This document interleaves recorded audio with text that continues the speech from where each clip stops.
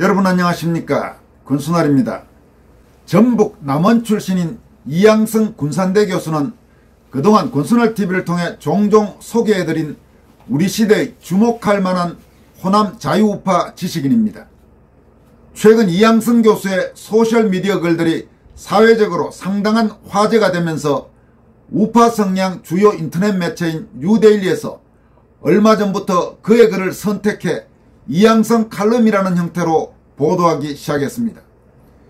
이양성 교수의 가치를 일찍부터 인식하고 시청자 여러분들에게 이 교수 글을 자주 소개해온 권순할TV로서는 이번 소식은 자유대한민국을 위해서나 이 교수 본인을 위해서나 반가운 소식이 아닐 수 없습니다. 오늘은 먼저 더불어민주당 이재명 대표에 대한 서울중앙지법 유창훈 영장전담 부장판사의 구속영장 기각결정과 관련해 이양성 교수가 소셜미디어에 먼저 쓰고 이를 뉴데일리가 다시 이양성 칼럼 형식으로 보도한 것을 소개해드리도록 하겠습니다. 이 교수는 이 글에서 만약 과거 박근혜 이명박 전 대통령에 대한 구속영장이 법원 영장 전담 판사에 의해 기각됐다면 한국의 좌익 매체를 비롯한 좌익 세력은 과연 어떤 행태를 보였을까라면서 자유진영의 각성을 촉구했습니다. 이 교수는 먼저 이 글에서 장수를 잡으려면 말을 쏘라고 했다. 문제는 영장 기각이 아니다. 영수회담도 아니다. 그것들은 모두 공허한 말뿐이다. 문제는 그러한 말들이 비정상적 과열을 일으키고 있다는 것이다. 즉 말이 문제다 라고 글을 시작했습니다. 이어서 행태경제학으로 노벨경제학상을 수상한 로버트 쉴러 교수의 말이다. 이야기는 전염된다. 바이러스다. 옳은 정보보다 허위 정보가 더 빨리 전염되는 경향이 있다. 발 없는 말 천리 간다고 말은 퍼져나간다. 누군가는 사실을 과장하고 조작해 퍼뜨린다. 그 과정에서 누군가는 크게 얻고 누군가는 크게 잃는다. 그렇게 크게 얻고자 하는 사람들이 나서서 허위 정보를 퍼뜨릴 유인이 존재한다라고 분석했습니다. 이 교수는 이어서 물론 영장 기각은 어이없다. 그런데 생각해보자. 이명박 박근혜 전 대통령에 대해 구속영장이 기각됐다면 좌파 진영은 어떻게 했을까? 좌편향 언론 유튜버 그리고 시민단체를 가장한 좌편향 이익단체들이 나서서 일제히 그 판사를 저격했을 것이다.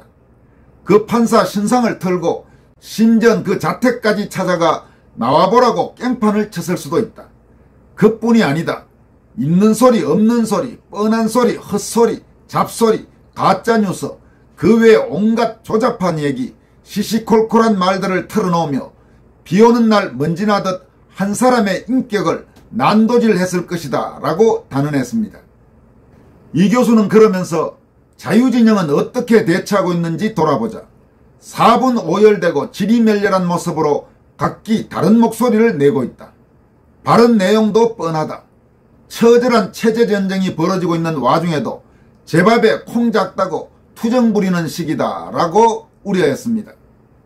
이어서 문제는 지금 정부와 여당 그리고 자유진영 내부에 유기적인 대응 시스템이 없어 보인다는 것이다. 한동훈, 원희룡, 박민식 장관 등과 같은 몇몇 스타 플레이어들의 개인기로 돌아가는 것 같다라고 밝혔습니다. 그러면서 야구에서 홈런만 중요한 게 아니다. 더 중요한 건 적시타 또는 진루타이다. 그 외에도 번트, 도루, 치고 달리기 등 협업도 중요하다. 전략적 순차성이 작용하기 때문이다. 볼넷이 나오고 홈런이 나오는 것과 홈런이 나오고 볼넷이 나오는 것은 전혀 다르다. 전자의 경우는 2득점이지만 후자의 경우는 여전히 1득점 상태이기 때문이다. 순차성을 고려한 백업 전략이 없었던 것으로 보인다. 즉 이재명 영장 기각이 될 경우를 상정해 최적 대응, 영어로는 best response가 마련되지 않았다는 것이다 라고 분석했습니다. 이 교수는 문제는 그것이다. 영장 기각이 아니다. 지금 민주당과 좌파 진영은 영장 기각이 마치 무죄 증명인 것 마냥 떠들고 있다. 정치적 이득을 위해 의도적으로 퍼뜨리는 허위 정보라고 볼 수 있다라면서 과장된 사실도 허위 정보에 속한다. 허위 정보는 맞춤형으로 만들어지는 경우가 많다. 역설적으로 그렇기에 매우 큰 효과를 낼 수 있는 것이다. 좌파 진영 선동꾼들은 그 기제를 알고 있다. 그들은 한국 사회에 놀고 먹으며 피해의식 가득한 배짱이층을 겨냥해 허위 정보를 발송하고 무의식을 통제한다라고 분석했습니다. 그러면서 그 무의식은 정치 과잉 현상으로 이어진다. 그들이 목표로 하는 건 권력이지 사실이 아니다. 그래서 누군가가 영장 기각이 검찰 책임이라고 선동하면 다른 누군가가 그 엉터리 주장에 감정을 섞는다. 헛소문 바이러스는 그렇게 만들어진다. 로버트 쉴러 교수 지적에 따르면 그 바이러스를 창궐케 하는 건 야수적 충동이다. 즉 권력을 향한 검은 충동이다. 그 충동은 자유민주주의와 법치에 대해 정오심을 자극한다. 그 야수적 충동은 편향된 사람들의 체제 전복 야망에서 비롯된 것이다.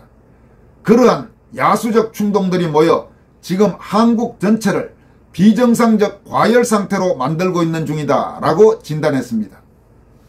이 교수는 지금 한국은 행태경제학의 교과서라고 볼 수 있다.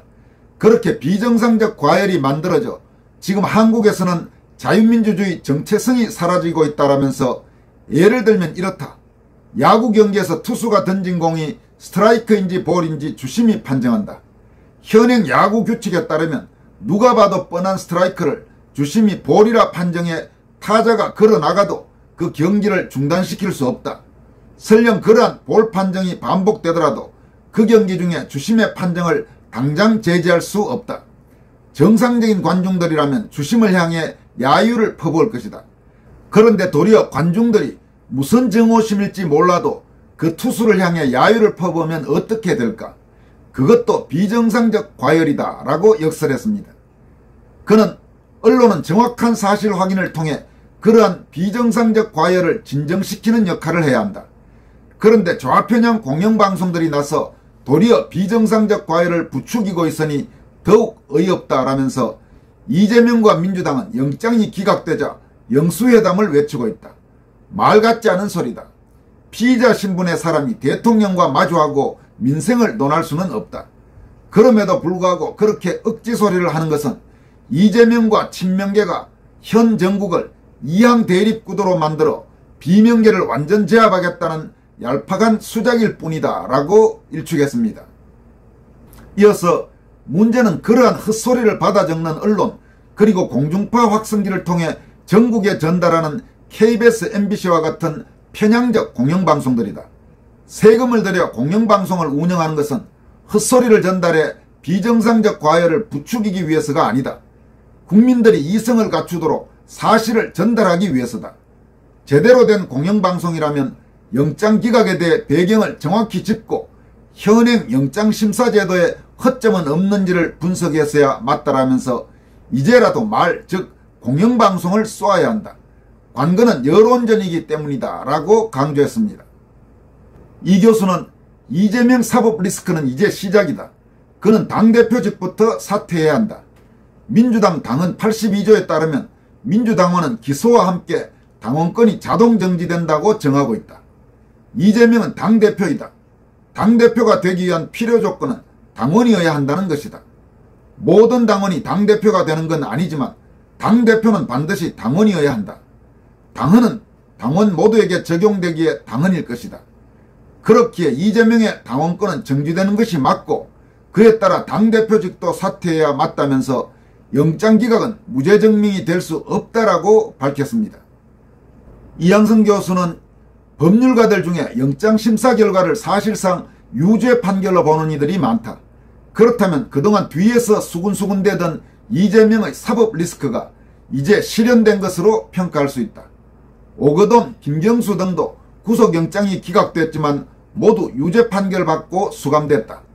그럼에도 불구하고 영장 기각 후 기세 등등의 적반하장격으로 영수회담을 외치는 이재명과 민주당을 보면 한국은 비정상적 과열 상태가 매우 심각해 보인다라고 이 글을 마무리했습니다.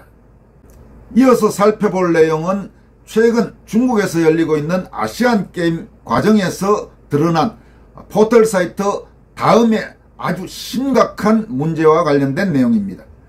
집권여당인 국민의힘은 중국 항저우 아시안게임 축구 8강전 한국과 중국 간의 경기 당시 국내 포털 사이트 다음의 응원 페이지에서 중국팀을 응원하는 클릭이 90%를 넘은 정말 도저히 대한민국에서 있을 수도 없는 말도 안된 행태가 나타난 것을 두고 여론조작 의혹을 공개적으로 제기했습니다.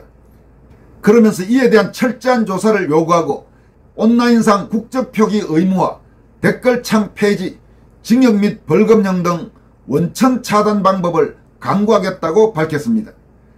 국회 과학기술정보방송통신위원회 여당 간사인 박성중 의원은 3일 국회에서 기자회견을 열어 지난 1일 진행된 한국과 중국 축구 경기와 관련해 카카오의 다음에 나타난 클릭 응원 앤더 댓글 응원을 분석해보니 중국을 응원한다는 클릭 응원이 2천만 건 이상 91%로 나오고 정작 한국은 200만 건 9%밖에 안 됐다고 의문을 제기했습니다.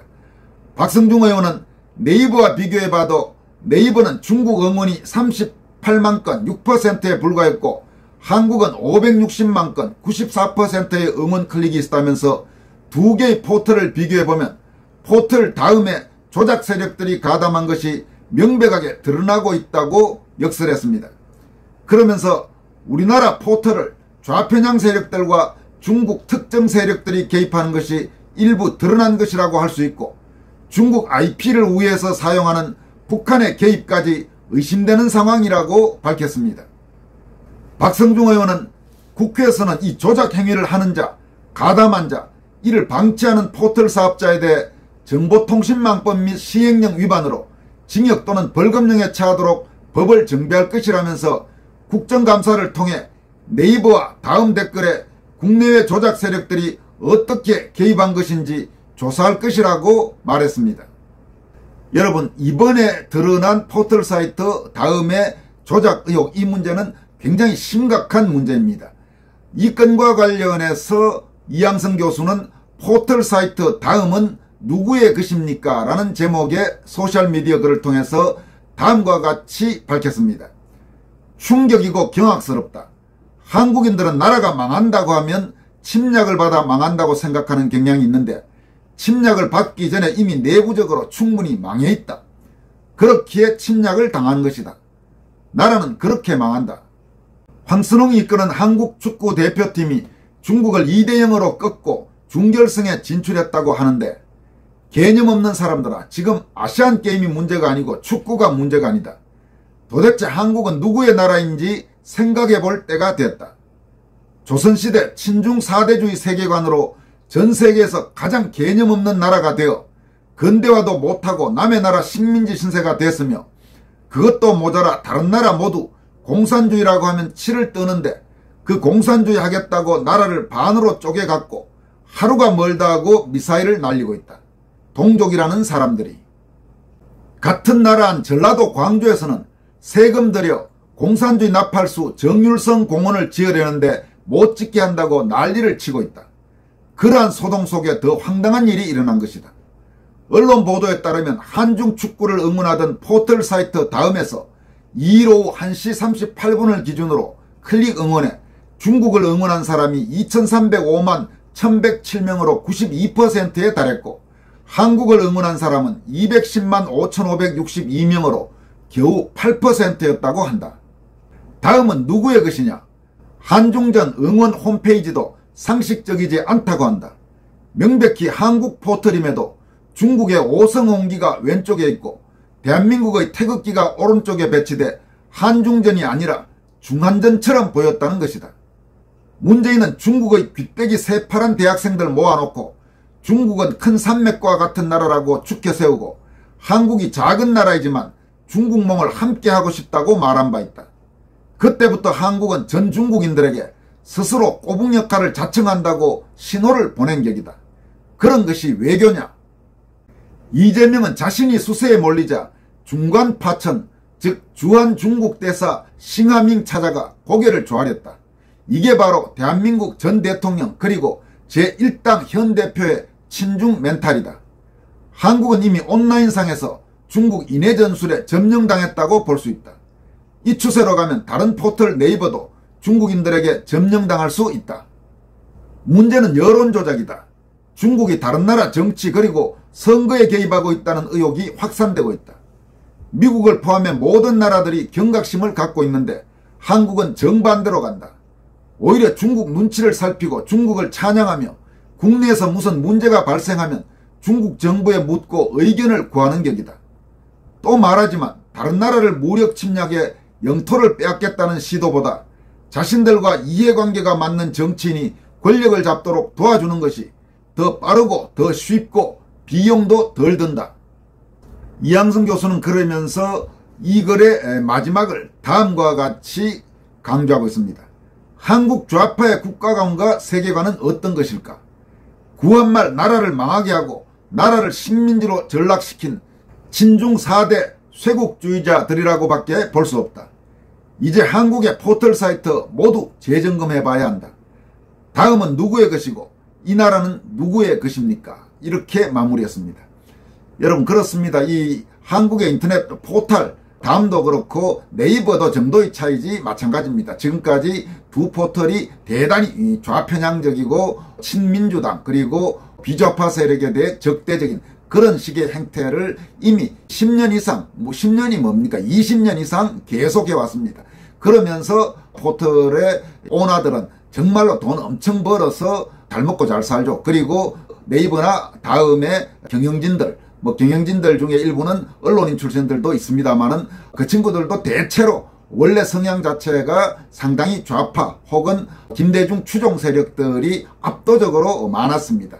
그러면서 이 한국의 온라인 환경, 언론 환경을 이렇게 왜곡시키는데 큰 악영향을 미친 것입니다. 이번에 이 다음에서 드러난 심각한 이 문제를 계기로 대한민국 포털 사이트에 대한 철저한 점검 그리고 명백한 제도적 개선을 요구합니다. 여기까지 하겠습니다. 고맙습니다.